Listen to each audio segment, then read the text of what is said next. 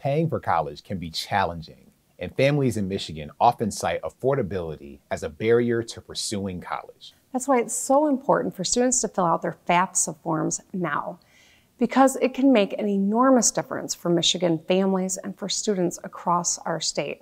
Last year, Michigan left nearly $100 million in federal grants on the table. I recently partnered with the Michigan College Access Network to announce the Governor's FAFSA Challenge with the goal of increasing the number of Michigan students completing their FAFSA and scholarship applications.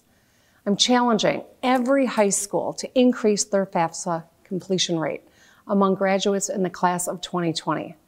High schools accepting our challenge to sign up for the statewide College Cash Campaign, which will provide the resources necessary to support high schools working to prioritize FAFSA completion.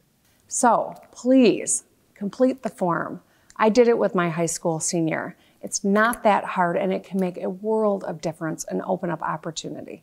We are so committed to this challenge that the winners will have an opportunity to host me, Governor Gretchen Whitmer, or Michigan celebrities at their commencement ceremony or decision day, or visit the Capitol and meet with me and their local legislators.